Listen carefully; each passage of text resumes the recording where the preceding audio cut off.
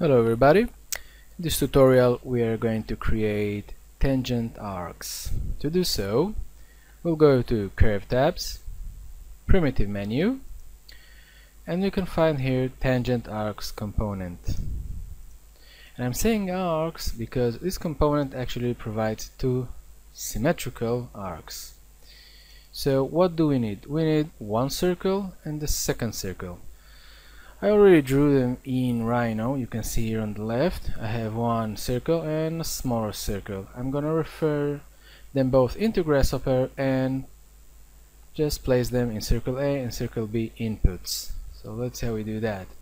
I'll go to params geometry and I'll choose curve. I'm just gonna duplicate it because I have two circles to insert. Set one curve bigger one and set one curve the smaller one.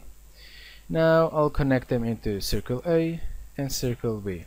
Nothing happened so far because the third input that this component asks us for is the radius. So I'm just gonna place a slider